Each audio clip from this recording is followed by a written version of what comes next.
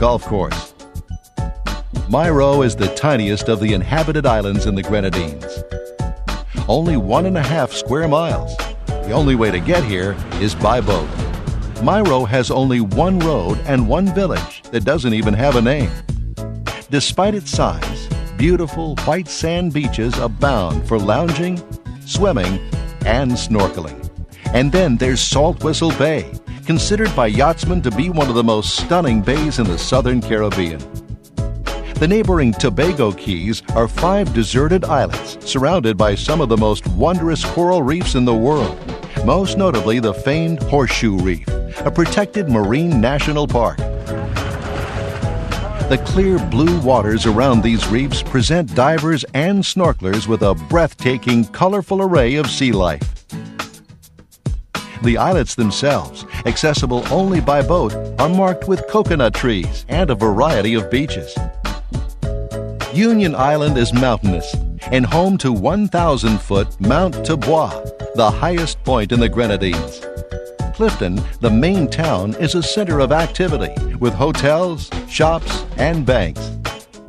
Nearby Fort Hill, built by the French in the 1600s, offers a spectacular view of the Grenadines and the surrounding countryside.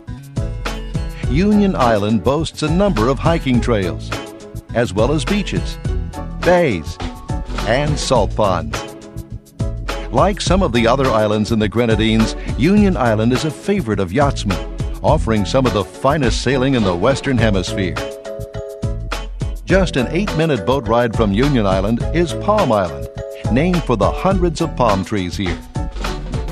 It's a private island resort that offers romantic beachfront cottages and spectacular white sand beaches.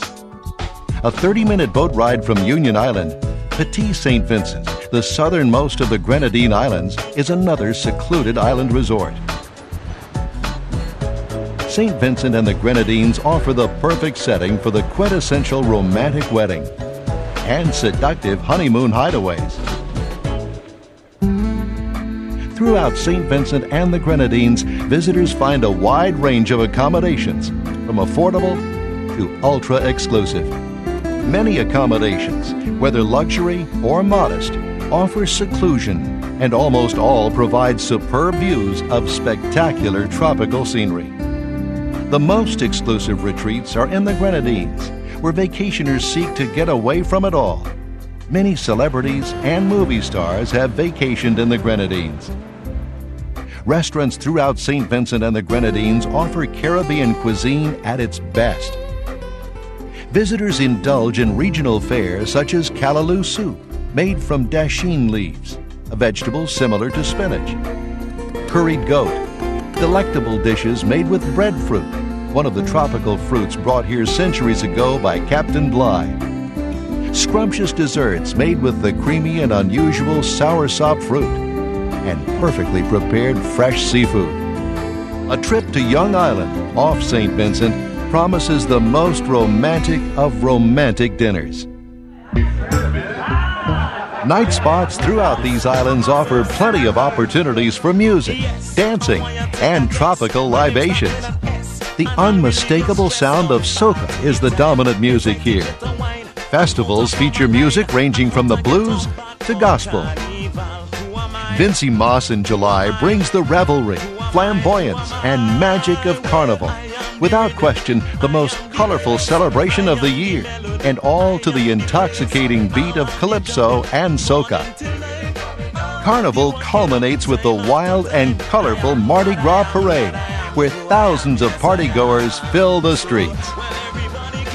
Like emerald jewels scattered across the blue Caribbean, the islands of St. Vincent and the Grenadines remain relatively undisturbed by modern development. It's this indescribable beauty that lures visitors back time and again. Come discover the lush landscapes, the captivating culture, and the friendly faces of this island nation paradise awaits you in St. Vincent and the Grenadines. I am the rhythm, I am the bass, I am the melody, I am the